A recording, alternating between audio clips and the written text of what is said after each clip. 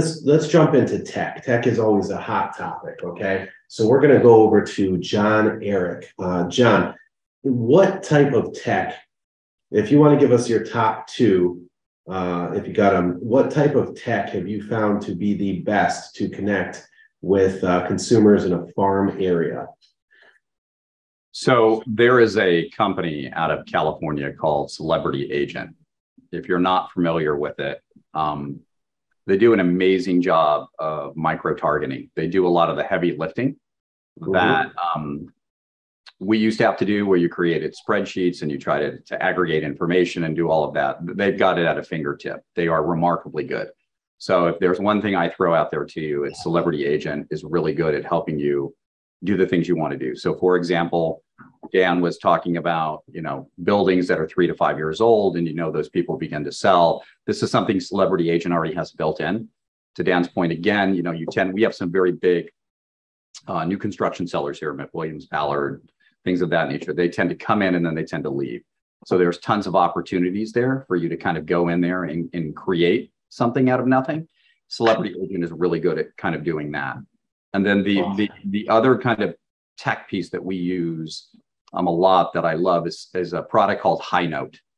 And Highnote allows me to, as we get a listing call um, through a farm area, you know, you get their, their email, the, you have the, these questions. We begin to send stuff about ourselves over to them, and we're able to see within the components in which we build out what they're spending time reading. Because it, you know, Dan knows this as well as is all of you do, which is, you know, Washington is filled with everybody's a chief and nobody's an Indian, and it, there's there's not enough time. And so when you see what they paid a lot of attention to, when you actually sit down with them, then you're able to kind of move through things a lot faster to get to the, the, the meat and potatoes of what they're looking for and, and kind of make that listing appointment much more succinct into what they actually want to hear from you because they've been able to digest a lot of the information that you, you've sent over ahead of time. Beautiful. Absolutely awesome. Thank you so much. Going to move over to Dan Lesniak. Dan with EXP. Dan, what do you um what are your top two tech uh, platforms for farming?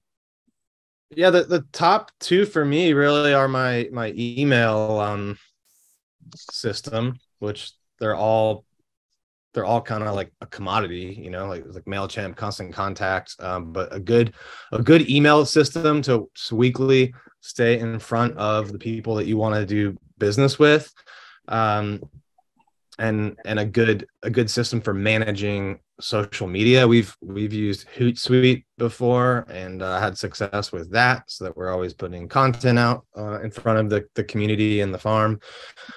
And then um, you know there's there's a couple that we're going to be experimenting with soon on the writing side of it actually which it's almost a little freaky the um but there's there's these programs now. Jasper's one we're going to test soon on. It actually like helps you write blogs. You know i don't i don't know if necessarily know if, yeah i don't know if it'll replace like the copywriter completely but it'll probably augment what they can do and i don't know.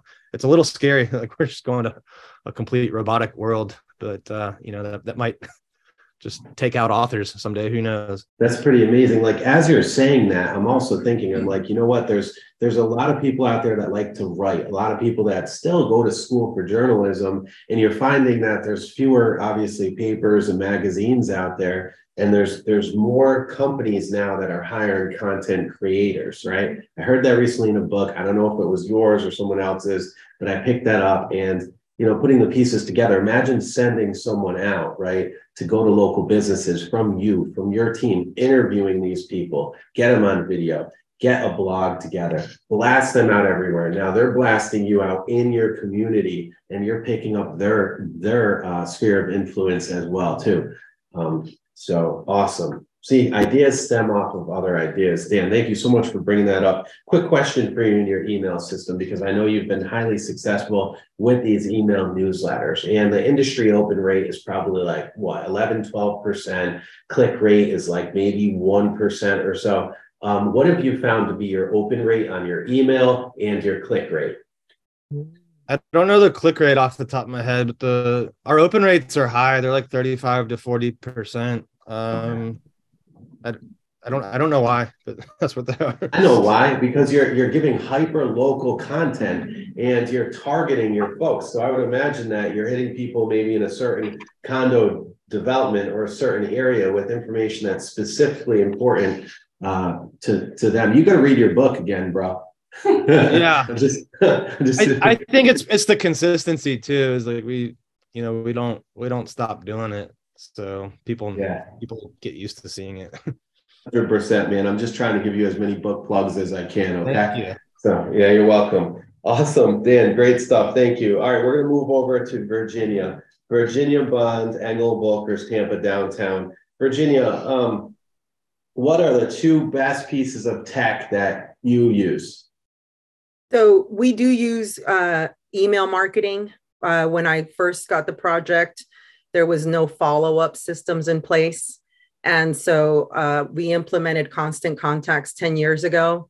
We scrubbed the list and loaded it. Our open rate used to be in the 20s. We just switched over from constant contact from a 10 year eBlast that had a consistent look and feel to it to Rezora because of EV. And our open rate right now is 14.7%. The average on Rezora is 13.2. Um. Our click rate is above average. We are at 1.7 for the click rate, and I think the average is about 1%. So, email is really how I sold that whole neighborhood out um, of new lots and builds. That's what one of the key elements I use. The, and for me, think it's important to remember not to hit people so many times.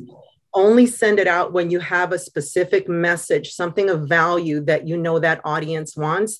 You should scrub your database in any uh, eBlast system that you have. It shouldn't be everybody lumped in. We sort our database. Everyone is ranked by A, B, and C. They're ranked by buyers, they're ranked by owners.